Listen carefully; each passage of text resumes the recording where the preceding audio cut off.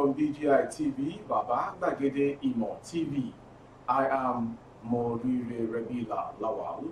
First are the major headlines for the world news. Northern APC governors present Osinbajo. Tinubu three orders to Buhari. 2023 APC Presidential Primary Day 2 updates result from Eagle Square, Abuja. Judiciary reporters detained forced to delete pictures. There is danger APC NWC members wants Tinubu other southerners. Still on APC primary, three states accredited journalist back. I know a name that can change Nigeria for good, Pastor Adeboye. And to foreign story, Nigerian lady denied Canadian residency to be deported for having baby. And finally, sports. I will make Osimhen fearsome Spalletti. Now the news in detail. As a follow-up on the resolution to zone the All Progressive Congress presidential ticket to the south, the Northern APC governors have forwarded the names of five southern aspirants to the president, Major General Muhammad Buhari retired, for consideration as a consensus candidate. Aspirants from the south dominated the list obtained by the Punch on Tuesday. Those shortlisted are the Vice President Yemi Osinbajo, former Lagos State Governor Bola Tinubu, Ekiti State Governor Kayode Fayemi, former Transportation Minister Rotimi Amaechi, and Governor Dave Umahi of Ebonyi State. The chairman of the Northern Governors Forum and Governor of Plateau State, Simon Lalong, who confirmed the shortlist, said those whose names were submitted had been graded by the party screening committee based on specified metrics.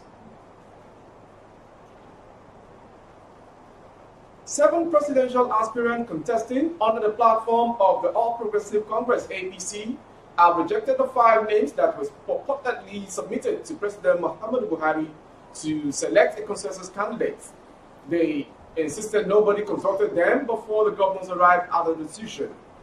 The aggrieved aspirant made this claim in a statement issued in the early hours of Tuesday.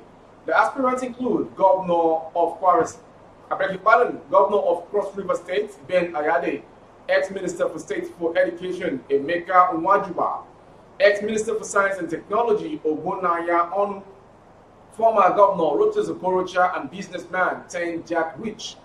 According to them, Buhari did not equivocally, I beg your pardon, according to them, Buhari did not equivocally support zoning the presidency to the south and questioned the motive of the governors. Governor Hope Uzodinma of Imo State on Tuesday hinted at the All Progressive Congress, APC, producing a consensus candidate during the party's presidential primary in Abuja. Uzodinma was the chairman of the APC Special Convention, said the party may produce a consensus presidential candidate at the end of the day. The governor said the party would conduct a free and fair election if consensus fails. Six judiciary correspondents were on Tuesday detained for over two hours on the order of Justice Chizoba Oji of the High Court of Federal Capital Territory, FCT, sitting in Maitama. Justice Oji insisted that journalists must get permission before they could cover our court. Consequently, she ordered our police orderly to seize a phone belonging to Miss Wumi Obaburi of the Africa Independent Television AIT and delete all the pictures and videos in it. Other reporters, the judge subsequently walked out of the courtroom where Mr. Godwin Sa of the Sun newspaper, Ikechukwu Nnochiri of Vanguard newspaper, Austin Okezi of Great Power FM, and a veteran journalist, Mr. Charles Ozuemana. Trouble started shortly after the judge stood down a matter and entered our chambers to prepare a ruling.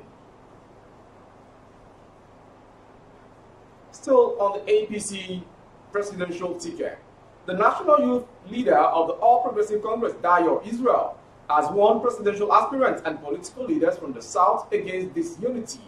According to him, there is a danger for the Southern aspirants as the party holds its presidential primary today. Israel urged the aspirant to liberate the position of the northern governor to shift power to the south.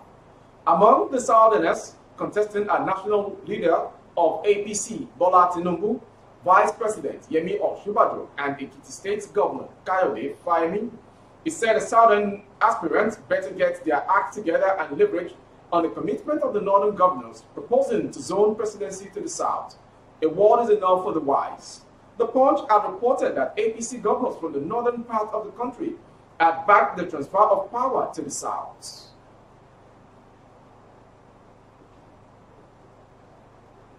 Still on the bad journalists from coverage, the accreditation for delegates participating in the ruling All Progressive Congress presidential election is ongoing. The accreditation is being held at the International Conference Center in Abuja. Journalists were not allowed into the venue of the accreditation. However, a member of the committee and the chieftain of the party in Delta, Barry Eka, told correspondent that delegates from three states had so far completed their accreditation. He said three states have completed the accreditation for delegates. The states are Ogun, Benue, and Lagos. Eka said the accredited delegates were to proceed to the Eagle Square, the venue of the party's special convention. About 2,340 delegates across the 36 states of the Federation, including the Federal Capital Territory, are expected to decide the fate of the party's presidential aspirant should the party fail to agree on a consensus. Before the foreign news, General Overseer of the Redeemed Christian Church of God, RCCG, Pastor Enoch Adeboye, says he knows a name that could change Nigeria for good. He said this on his Facebook page, attaching an image of himself with the text, Jesus, I know a name that can change the current state of Nigeria for good, he posted. He said these hours after reacting to the killings of Christian worshippers at St. Francis Catholic Church, Owo in Ondo State. The Punch had reported that gunmen attacked the church, killing about 40 worshippers during Sunday service. Adeboye, in a post on his Facebook page on Tuesday, expressed sadness over the attack, saying every soul counts before God. And to foreign story, a Nigerian, Idayat Saka, who works in Toronto as a health care worker, did exactly what her doctor told her to do to protect herself and her baby. The 33-year-old mother of four stopped working at the beginning of her third trimester of pregnancy due to high-risk complications from prior cesarean birth. What couldn't have known at the time was that her decision to stop working when she did would later be used by an immigration officer to deny her permanent residency in Canada. This rejection means Saka, her husband, and two of their children could soon be deported to Nigeria. Our youngest sons, ages 3 and 1, can't be deported because they are Canadian. They came to Canada in October 2017 after they said their lives were threatened by gunmen in Nigeria. These claims were later dismissed. After they arrived in Canada, Saka went back to school to become a personal support worker and spent more than 2,000 hours caring for sick and elderly patients in Ontario during the COVID-19 pandemic. Most of this work occurred during the deadly third and fourth waves of the virus. And finally, sport news.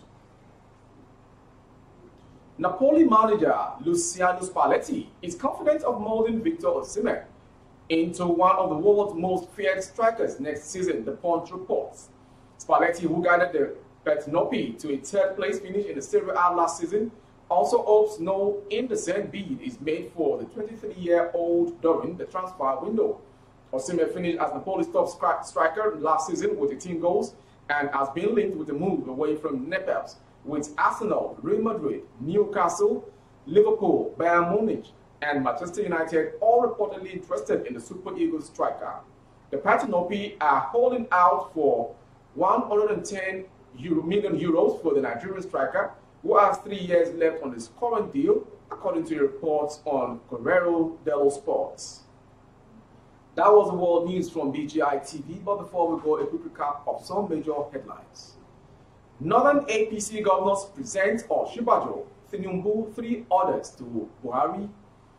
2023 APC Presidential Primary Day 2 Update Result from Eagle Square, Abuja. And from that story, we go straight to the foreign story. Nigerian lady denied Canadian residency to be deported for having baby. And finally, sports. I will make Osimhen fearsome Spalletti. For more updates on YouTube, the handle is Baba Bagede Imo TV. Kindly subscribe and click on the notification bell. Select option All to access our updates. On Facebook, Bagede Imo with Alawiye Adebayo. Please like and follow the page. On Instagram, Bagede Imo underscore 22. And for other placements of goods and services, coverage of events and function, the phone number streaming on your screen is a direct line to call for advert. Thank you for watching. I am Morire Rebila Lawal. Good evening. Oh, na, na, na. If you want to know what's going on in city, or you want to listen to the latest news and gist, no stress, oh, just tune to BGI TV. BGI TV.